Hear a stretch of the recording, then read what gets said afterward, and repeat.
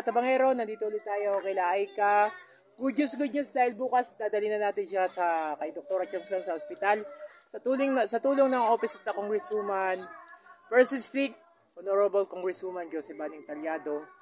Uh, with the help of course of ang ating dito nga kuya din sa ating kuya at ating Papa Ed. Papa Ed Angeles po yung makakatulong sa atin dahil siya ay tito po ng ating ah, dating gobernador ah, Edgardo Egay Talyado at siya po ay may connection sa Office of the Congresswoman kaya bukas susunduin namin si Aika hatid sundo siya sa ospital at ah, hin- request ko din po kay Papa Ed na siya ay mabigyan ng tuloy-tuloy na gamot sa kanya maintenance at sisikapin niyo ni Papa Ed na malibre po kanya mga gamot.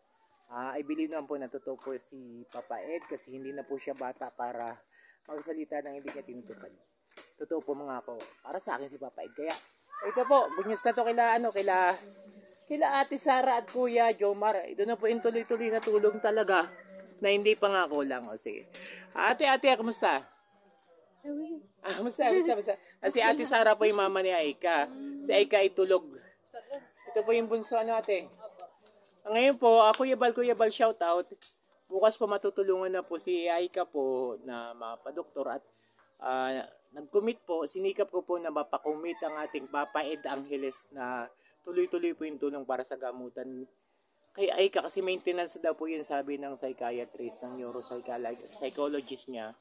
Kasi lumampas niya sa tatlong taon at wala na talaga oxygen gaano ang kanyang utak kaya hindi na talaga siya mababalik sa normal. Pero baka sakali po, sabi ko kay Papa Ed, baka naman po mayroon tayong mas magaling na doktor na makatulong sa kanya. Sabi ko kay Papa Ed, ay hahanapan po yun ni Papa Ed. Sisikapin po sa tulong po ni Papa Ed Angeles, na tito ni dating Gobernador Ege Talyado at syempre tito na rin po ng ating Congresswoman Jose Baning Talyado na siya pong tumulong sa atin. Si Jose Baning Talyado po yung nag-commit na makalibre siya kay Dr. Chongson, ma-check up.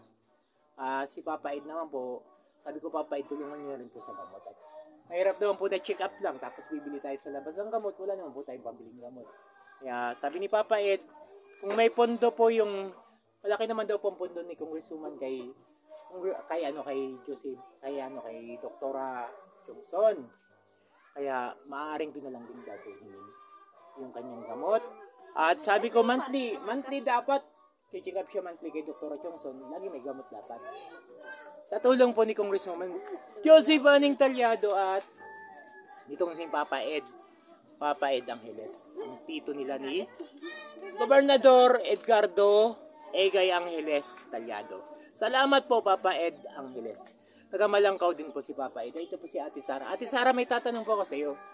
Ah, kung sakali naman po natutulungan na po si Aika sa pagpapagamot niya. Ah, nakita ko po yung pangailangan niyo po dito sa bahay. Medyo matibay naman po bahay niyo. Ano po? O papatibayin pa siyempre. Kumusta po dito pag bumabagyo? Kaya naman. Nalipat at medyo mahuna din naman talaga po. Ano po? Alam mo naman po ang kabuhayan. Ano pong mahiling yung kabuhayan para makatulong po sa inyo ni Kuya Jomar. Kasi si Kuya Jomar, ah, hindi po regular trabaho niya kung may pakupra lang. Apo, ano pong mahiling yung kabuhayan? Halimbawa kay Kuya Bal o sa Team Kalungat. Team Kalingap, tindahan. Kuya Bal, tindahan daw po. Ah, Team Kalingap, tindahan daw po ang hiling ni Ate Sara, ang mama ni Aika. Si Aika po ay tulog. Pwede ba siyang uh, video ng tulog? Hindi naman, may, mabilis lang, mabilis lang. Ayan po si Aika, o, tulog na tulog. Salamat. Hindi siya inatake ngayon natin. Siya po, inabot po. Kaya po siya tulog. Si Kuya Bal, ah, Ate Edna, Kuya Rab, Ate Jackie, mga kalingap. Ayan, tulog na tulog si Aika. Ah, ngayon, dahil kanina ng alas 4, inatake naman siya. Araw-araw na yun ate. Opo. Ayan, araw-araw na po dahil napakatagal na po niyang hindi nakakainom ng kanyang gamot. So, ilang minuto siya inatake? Isa po. Isang minuto siyang tarak ng tarak. Hirap na hirapan natin. Opo. Nakita ko po yung kamay ninyo kung paano nyo tinat Natik, natigas po yung gato niya. Natigas po ang kanyang sikmura. O, nakaharang po yung duyan. okay ate. So, nakita ko po yung inyong kamay na ina-applause niya lang po sa mata niya. Alam ko po yung nararamdaman ko po yung ano yung awa ninyo. Tapos kahit sino po nakakita talaga nakakaawa po. Si Aika natitiisin na ganun siya araw-araw na hindi siya mabilhan ng gamot para po siya iwag maghirap araw-araw. At sa nakakatakot pa niyan ay ang mamatay siya sa ganun. Kasi tumitigay siya sigmura pati yung puso niya tapos yung nakatakot yung utak niya. Ano po ate? So babalik po kami bukas ate ha? para sunduin siya, dalhin kay doktora. Okay, ay ka, babalik kami bukas. Love you.